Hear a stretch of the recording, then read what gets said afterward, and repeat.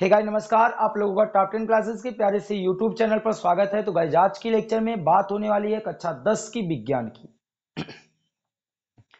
आज की लेक्चर में हम लोग बात करने वाले हैं अपवर्तनांक तथा प्रकाश की चाल से क्या संबंध है।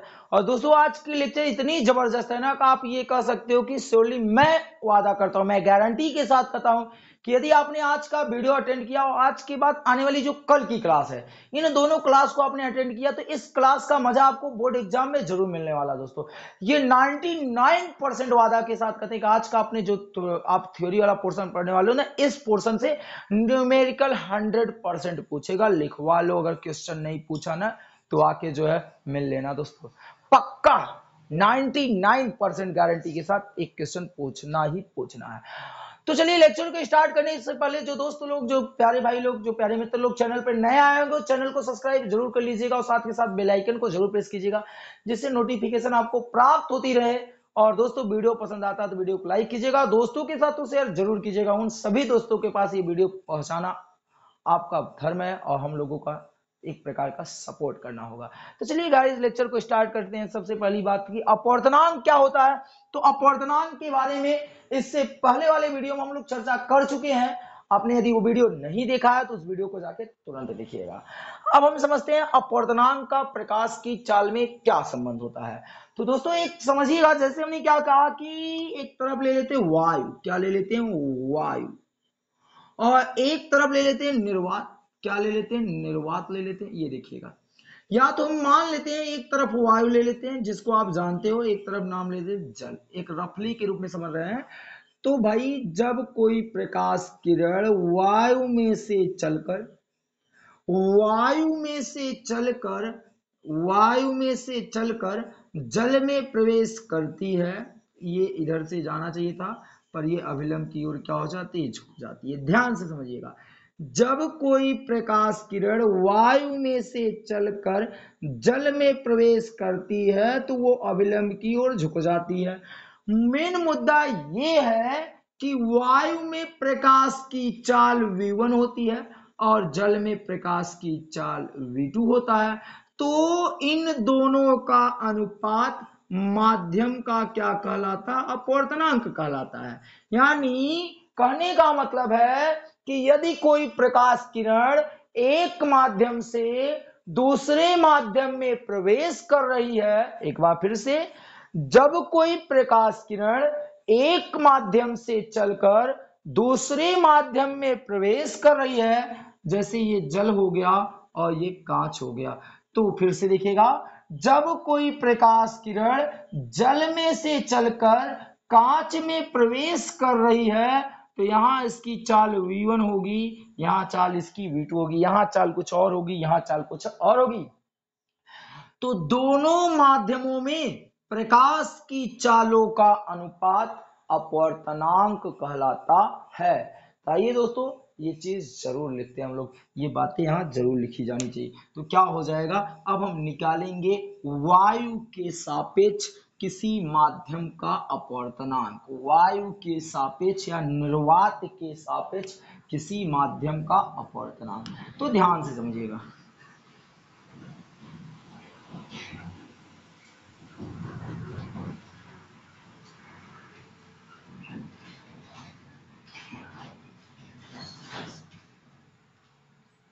निर्वात में प्रकाश की चाल तथा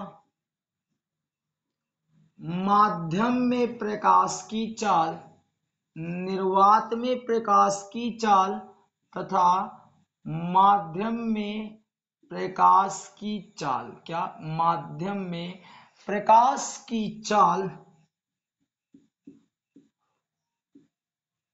का अनुपात ही, का अनुपात ही माध्यम का अपवर्तनांक कहलाता है। क्या कहलाता है?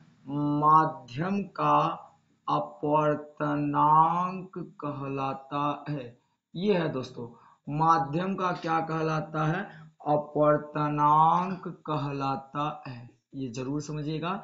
यानी निर्वात के सापेक्ष तो किसी भी माध्यम में प्रकाश की चाल होगी, वह क्या कहलाता है? माध्यम का अपवर्तनांक कहलाता है। तो अपवर्तनांक बराबर क्या होता है? दोस्तों, वो ध्यान से समझिएगा।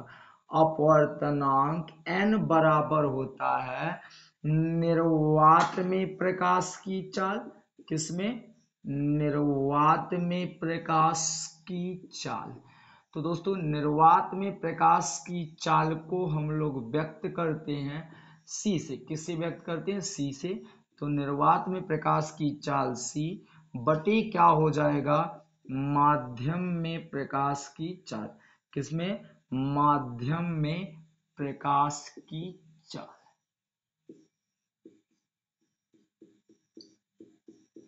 ये भी हो गया। ठीक?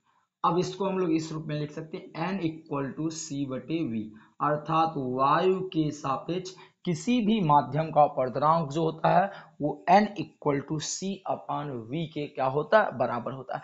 अब हम निकालते हैं। जैसे मुझे चाहिए वायु के सापेक्ष। सबसे पहले अब बात करेंगे वायु के सापेक्ष कांच का अपवर्तनांक। वायु के सापेक्ष कांच का अपवर्तनांक। एक बार फिर से देखिएगा दोस्तों। वायु के सापेक्ष कांच का अपवर्तनांक। तो इसे लिखोगे कैसे? वायु मतलब एयर तो ए अपवर्तनांक का सिंबल फिर जी इसका मतलब होता है वायु के सापेक्ष किसका अपवर्तनांक? कांच का अपवर्तनांक। ए वायु जी कांच ग्लास होता है और एन अपवर्तनांक होता है। तो वायु के सापेक्ष कांच का अपवर्तनांक क्या हो जाएगा? सी क्या हो जाएगा? सी बटे वी वी के स्थान पे हो जाएगा। वी जी यानी सी है प्रकाश, निर्वात में प्रकाश की चाल, और वी जी है आपका किसका? वी जी है कांच में प्रकाश की चाल। इतनी बातें आपको समझ में आ रही है? अब इसको हम लोग क्या बना लेते हैं? दोस्तों जानते हो इक्वेशन नंबर क्या बना लेते हैं? फ़र्स्ट बना लेते हैं। ठीक, उसके बाद हम क्या करते हैं दोस्तों? अब हम इस बार वायु के सापेक्ष नहीं, किसका निकालेंगे? वायु के सापेक्ष जो है जल का अपवर्तनांक निकालते हैं। क्या निकालते हैं? वायु के सापेक्ष। वायु के सापेक्ष, यदि मुझे जल का अपवर्तनांक निकालना हुआ तो कैसे निकालेंगे? वायु के सापेक्ष क्या? जल का अपवर्तनांक। वायु के सापेक्ष जल का अपवर्तनांक क्या होगा? ए एन डब्ल्यू वायु के सापेक्ष जल का अपवर्तनांक हो जाएगा निर्वात में प्रकाश की चाल और माध्यम में प्रकाश की चाल। तो माध्यम कौन है? जल। तो डब्ल्यू लगा दिए। समीकरण नंबर क्या हो गया? दो हो गया। अब हम क्या करते हैं दोस्तों? समीकरण एक बटे समीकरण क्या कर देते हैं? दो कर देते हैं। अर्थात समीकरण दो को समीकरण एक से, या समीकरण एक को किससे भाग देते हैं? दो को। तो जो भी करना हो तो आप जैसे कि मुझे जिसके सापेक्ष निकालना रहता है तो हम क्या कर रहे हैं? समीकरण दो। क्या कर रहे हैं दोस्तों? समीकरण दो बटे समीकरण एक। ये। समीकरण दो बटे समीकरण एक से। तो समीकरण दो क्या है? देखिए ए एन डब्ल्यू है। ए एन डब्ल्यू फिर उसके बाद क्या है, जानते हैं? ए एन जी बराबर। ए एन डब्ल्यू की वैल्यू कितनी है? सी बटे वी डब्ल्यू फिर उसके बाद क्या है? सी बटे वी जी तो ये सी से सी कैंसिल होगा जी ऊपर पहुँच जाएगा। तो मिल जाएगा वी जी बटे वी डब्ल्यू अर्थात ए एन डब्ल्यू बटे ए एन जी जो है, वो आपका क्या मिल जाएगा? यहाँ से ध्यान से देखिएगा ए ए से आपका कैंसिल हो जाएगा। तो आपका यहाँ जाएगा जल के सापेक्ष कांच का अपवर्तनांक। तो यहाँ ध्यान से देखिएगा दोस्तों, इसे हम क्या कह सकते हैं? ध्यान से। अब देखिए वीजी बटे क्या आ गया? वी डब्ल्यू चलिए, आगे हल करते हैं थोड़ा सा और बातें करते हैं बढ़िया सी बातें। तो देखिए, क्या मिला है? ए एन डब्ल्यू बटे ए एन जी ठीक? बराबर क्या है? वीजी वीजी क्या है भैया? वीजी यानी कांच में प्रकाश की चाल। और वी डब्ल्यू मतलब जल में प्रकाश की चाल। तो ये किसके बराबर हुआ? जैसे यहाँ देखो, वो निर्वात में प्रकाश की चाल और माध्यम में प्रकाश की चाल। तो यहाँ पर था निर्वात में प्रकाश की चाल और जल कांच में प्रकाश की चाल। तो वायु के सापेक्ष कांच का अपवर्तनांक हो रहा था। जब वायु में प्रकाश की चाल है और कांच में प्रकाश की चाल है तो वायु के सापेक्ष कांच हो रहा है। और जब वायु के सापेक्ष जल का लिया गया तो वायु तो वही है। पर जल बदल गया। यहाँ क्या है? यहाँ कांच है। यहाँ क्या है? कांच है और यहाँ क्या है? जल। तो इसको तो हम लिख सकते हैं कांच के सापेक्ष जल का अपवर्तनांक। कांच के सापेक्ष जल का अपवर्तनांक। कांच के सापेक्ष जल का अपवर्तनांक। इसे हम ये लिख सकते हैं। तो दोस्तों, आपका ये फार्मूला मिलता है। तो यहाँ से हम परिभाषा दे सकते हैं, एक नई परिभाषा दे सकते हैं कि दोनों माध्यमों में जैसे किसी का भी निकालना हुआ, एक के सापेक्ष दूसरे का, दूसरे के सापेक्ष पहले का तो भाई देखो, दोनों माध्यमों में प्रकाश की चालों का अनुपात ही अपवर्तनांक कहलाता है और प्रकाश की चाल अपवर्तनांक में यही संबंध होता है दोस्तों। और यहाँ से बहुत सारा प्रश्न आप हल करने वाले दोस्तों तो आप इसका एक स्क्रीनशॉट लीजिएगा। फिर इसी में हम लोग चर्चा करने वाले हैं, प्रकाश की उत्क्रमणीयता, प्रकाश की उत्क्रमणीयता तो आपने अगर स्क्रीनशॉट इसका ले लिया होगा तो हम उधर चर्चा कर लेते हैं प्रकाश की उत्क्रमणीयता क्या होती है।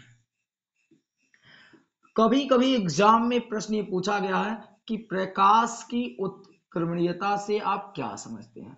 तो उत्क्रमणीयता का मतलब होता है दोस्तों, कि आप जैसे जो है, हमारे कहने का मतलब है, उत्क्रमणीयता का मतलब होता है कि परावर्तन में आपने पढ़ा होगा कि उत्क्रमणीयता क्या होता है दोस्तों? एक बार ऐसे दिखेगा इधर की तरफ़ हो गए। तो ये आने वाली किरण हो गई और ये लौटकर जाने वाली किरण हो गई। यदि हम इसी किरण को फिर से लौटा दें, अर्थात इसके सामने एक दर्पण लगा दें तो यही किरण लौटकर इधर आ जाएगी और यही जिस किरण इधर लौट जाएगी। यानी कहने का मतलब है कि यदि इधर से प्रकाश किरण आपतित कराया जाए तो परावर्तित किरण ये हो जाती है, और इधर से किरण आपतित कराया जाए तो परावर्तित किरण। ये हो जाता है। अर्थात कहने का मतलब है कि जब हम आप इधर से प्रकाश किरणें आपतित कराएँगे तो यह आपतित किरण होगा और यह परावर्तित किरण होगा। और जब प्रकाश को इधर से आपतित कराएँगे तो यह आपका आपतित किरण हो जाएगा। तो ये वाला किरण कौन सा हो जाएगा? परावर्तित किरण। तो ये परावर्तन में उत्क्रमणीयता कहलाती है। वैसे ही यहाँ पर भी हम समझेंगे उत्क्रमणीयता क्या होती है। तो चलिए इसके लिए एक प्यारा सा, एक नन्ना छोटा सा, मुन्ना सा डायग्राम बनाने वाले हैं। उसी डायग्राम की मदद से सारा प्रॉब्लम समाधान हो जाएगा। ये भाई कांच है। क्या है? कांच है। तो चलिए कांच को थोड़ा सा बढ़िया से बना देते हैं हम लोग।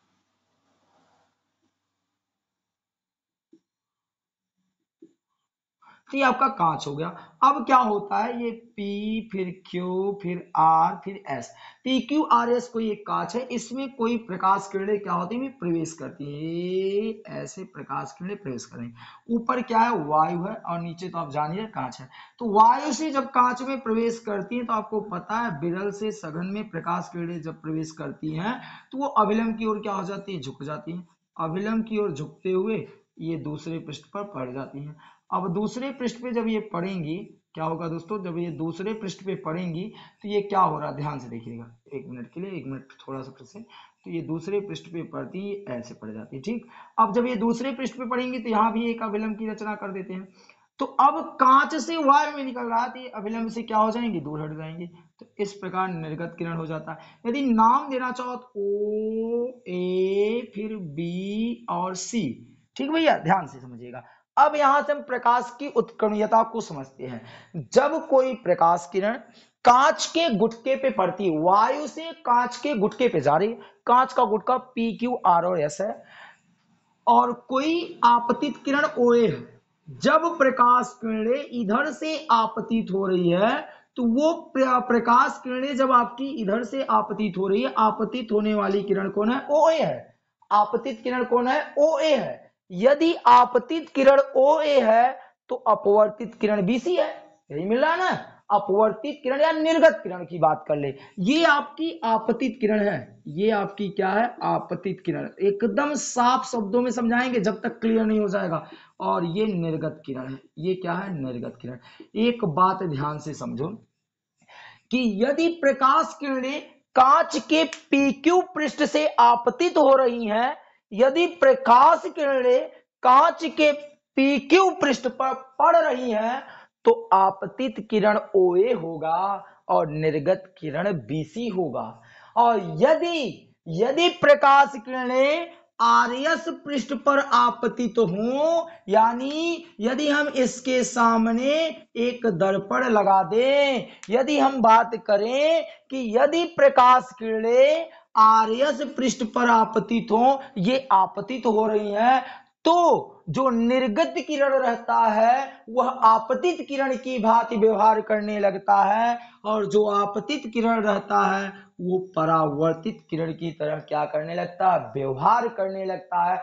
तो प्रकाश की इस घटना को उत्क्रमयता नाम दी जाती है। एक बार फिर से समझते हैं दोस्तों, यदि आपतित किरण यदि प्रकाश किरणें पीक्यू पृष्ठ पे आपतित तो हो रही है? तो निर्गत किरण आपका आरएस से होकर गुजरता है। यानी यदि ओए आपतित किरण है तो निर्गत किरण कौन होगा? बीसी होगा। और यदि आपतित किरण बीसी है तो आपतित किरण क्या होगा? ओए होगा। तो दोस्तों इस घटना को प्रकाश की उत्क्रमणीयता कहते हैं। अब दूसरे शब्दों में अगर हम बात करें, प्रकाश की उत्क्रमणीयता क्या होती है?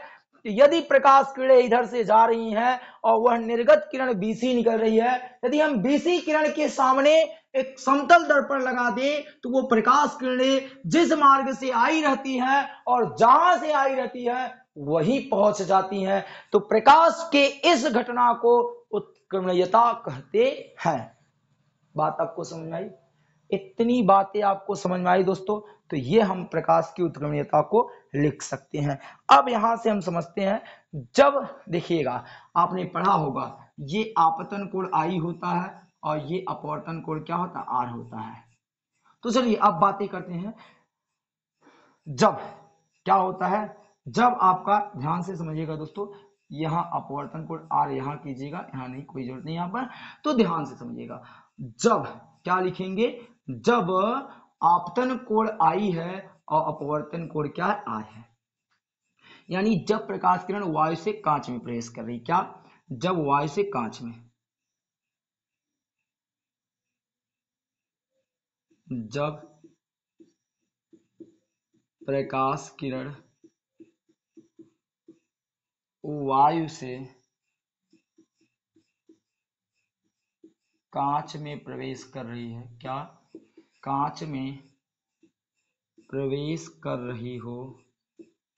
कर रही है। तब आपतन कोण आई, आपतन कोण आई तथा अपवर्तन कोण आर है। तथा अपवर्तन कोण क्या है? आर है। तब स्नेल के नियम से अपवर्तनांक हो जाएगा। क्या हो जाएगा दोस्तों? वाई से कांच में जा रहे हैं। तो ए एन जी बराबर हो जाएगा साइन आई बटे साइन आर ठीक, ये हो गया साइन आई बटे साइन आर समीकरण नंबर क्या हो गया? एक हो गया। ठीक, अब हम इधर बातें करते हैं। इसको मूव कर लेते हैं। तो आपने कब का स्क्रीनशॉट ले लिया था? तो इसको मूव कर लेते हैं। तो ए एन जी बराबर साइन आई बटे साइन आर और जब प्रकाश किरणें जब प्रकाश किरणें कांच से वायु में जा रही हैं, जब प्रकाश किरणें कांच से वायु में निकल रही हैं या वायु में जा रही हैं, वायु में जा रही हैं, तब के लिए, तब आपतन कोण आर, तब आपतन कोण कौन? आर, तथा अपवर्तन कोण आई हो जाता है, तथा अपवर्तन कोण कौन हो जाता? आई अपवर्तन कोण? आई है तब क्या हो जाएगा? तब क्या हो जाएगा? कांच से वायु में जा रहा है, अर्थात कांच के सापेक्ष वायु का अपवर्तनांक होगा। जीएनए बराबर क्या हो जाएगा? साइन अब इस बार आपतन कोण कौन है? आर है। तो साइन आई के स्थान पे दोस्तों क्या होगा? आर होगा। और आर के स्थान पे क्या होगा? साइन आई समीकरण नंबर क्या हो गया दो। समीकरण एक और दो का क्या करते हैं? गुणा करते हैं। समीकरण एक गुणे समीकरण दो। तो चलिए, समीकरण एक क्या है? ए एन जी और समीकरण दो क्या है? जी एन ए बराबर क्या हो जाएगा? उधर हो जाएगा साइन आई बटे कितना? साइन आर गुणे क्या हो जाएगा? इधर साइन आर बटे कितना? Sine I. तो देखिएगा, साइन आर से sine R cancel, sine I से साइन आई कैंसिल हो जाएगा दोस्तों। तो ए एन जी गुड़े जी एन ए बराबर उधर एक आ गया। यदि हम इसको इधर की तरफ़ कर दे तो गुड़ा वाला इधर में चला जाएगा भाग में हो जाएगा। तो ए एन जी बराबर आ जाएगा एक बटे जी एन ए। तो यहाँ से दोस्तों ये निष्कर्ष निकलता है उत्क्रमणीयता का। अर्थात वायु के सापेक्ष कांच का अपवर्तनांक वायु के सापेक्ष कांच का अपवर्तनांक अपवर्तनांक, जल के सापेक्ष वायु का अपवर्तनांक सॉरी वायु के सापेक्ष कांच का अपवर्तनांक, कांच के सापेक्ष वायु के अपवर्तनांक के व्युत्क्रम के बराबर होता है। इससे यह रिज़ल्ट निकलता है कि क्या वायु के सापेक्ष, वायु के सापेक्ष कांच का अपवर्तनांक, कांच का अपवर्तनांक, देखिएगा कांच का अपवर्तनांक, वायु के सापेक्ष कांच का अपवर्तनांक, ज ये कांच है ना तो कांच के सापेक्ष, कांच के सापेक्ष वायु के अपवर्तनांक, वायु के अपवर्तनांक के व्युत्क्रम के बराबर होता है, के व्युत्क्रम के बराबर होता है, ये, के बराबर होता है। इससे यह रिज़ल्ट निकलता है कि वायु के सापेक्ष यदि कांच का अपवर्तनांक दो है तो कांच का वायु के सापेक्ष एक बटे दो हो जाएगा। दोस्तों, ये फार्मूला आपका मोस्ट इंपॉर्टेंट है। 99 परसेंट आपके दिमाग में ये फार्मूला रहना चाहिए। और इस फार्मूले पे और इस फार्मूले पे, इन दोनों फार्मूले पे अभ्यास अगले लेक्चर में हम लोग ज़रूर करेंगे और ज़बरदस्त आठ दस सवाल का लेक्चर अगले, अगली लेक्चर आने वाली है, जो कि शनिवार को आएगी। और दोस्तों, उस लेक्चर को आप ज़्यादा से ज़्यादा प्यार दीजिएगा और ज़्यादा से ज़्यादा उस लेक्चर को शेयर कीजिएगा। और आई होप कि आज की लेक्चर आपको ज़रूर पसंद आई होगी और साथ साथ में समझ में भी आई होगी यदि दोस्तों कहीं भी कोई डाउट रह गया होगा तो कमेंट बॉक्स में आप अपना कमेंट ज़रूर कर सकते हैं। और दोस्तों वीडियो पसंद आई होगी तो वीडियो को लाइक कीजिएगा और दोस्तों के साथ शेयर ज़रूर कीजिएगा। चैनल पर नए आए होंगे तो चैनल को सब्सक्राइब करके बेल आइकन को ज़रूर प्रेस कर लीजिएगा। और साथ में दोस्तों मिलते हैं आपको नेक्स्ट लेक्चर में, तब तक के लिए वीडियो देखिए, एंजॉय कीजिए और अपने गोल को ज़रूर ना भूलें दोस्तों। जिस गोल को, जिस टारगेट को आपने बना के रखा है, उस टारगेट को पाना है और छीनना है दोस्तों। तब तक के लिए जय हिंद, जय Bharat. Thank you all dear student.